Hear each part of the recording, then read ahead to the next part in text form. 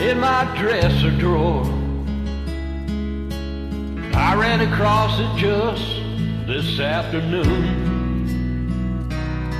And I realized that I don't ever use it anymore. In fact, last time I did, I think it was with you. When we were down in Cozumel, we had Old Beach to ourselves. Now to think that it's all there on that film. And I could take it to the store to be developed, but what for? I can still see everything just fine.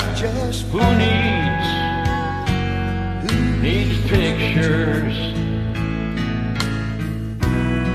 When the memory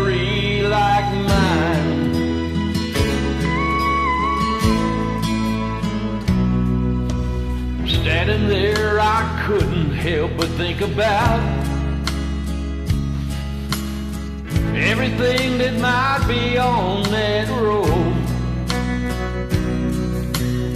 I think it even has another trip we took. I guess that must be at least three years ago. When we